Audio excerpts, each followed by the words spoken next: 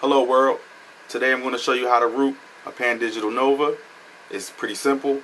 It's two easy steps. We're going to be using Superuser to get root access. And after we flash Superuser, we have to flash the Google framework. It's only two things that we have to do. We're going to go into recovery mode, flash these two files, and guess what? You're going to have a rooted Pandigital Nova. After you root it, you will have the Android market. And of course, Gmail, Google Voice, and things like that First things first, you have to download the files from the description. You have to have an SD card and you also have to have a data cable. If you have an SD card in a computer where you can plug it straight in, plug your SD card in and download the files. If not, you're going to need a data cable to connect the Pandigital Nova to the computer and get the files onto the SD card, of course.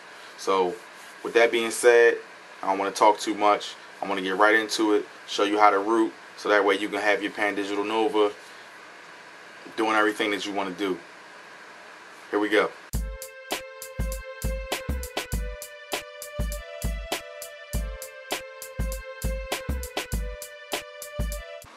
We're now going to root the Nova, so I'm going to turn it off.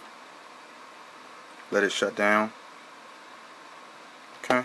Hold the up button and the power button. Let go of the power button when it comes on. Keep holding the up button.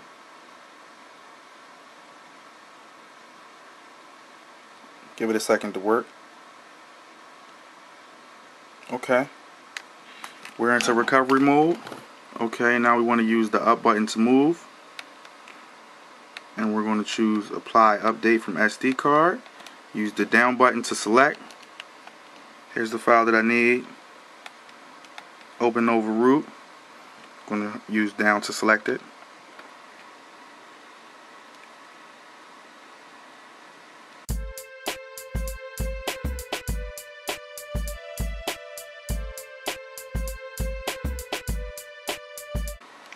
We now have root access.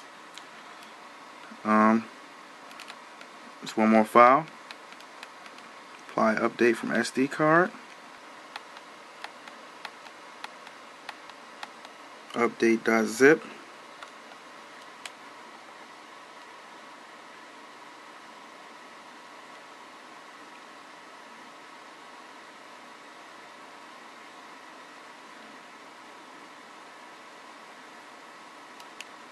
successfully rooted install from SD card complete.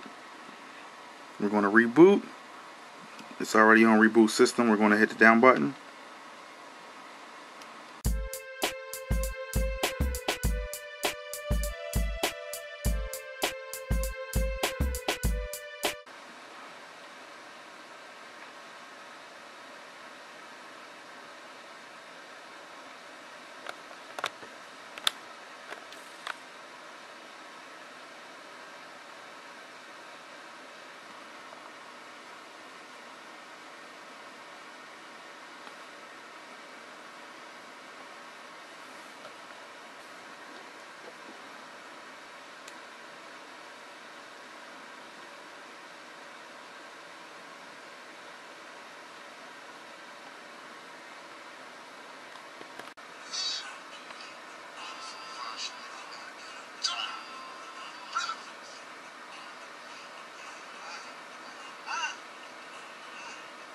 Babyface Kids on the Pandigital Nova.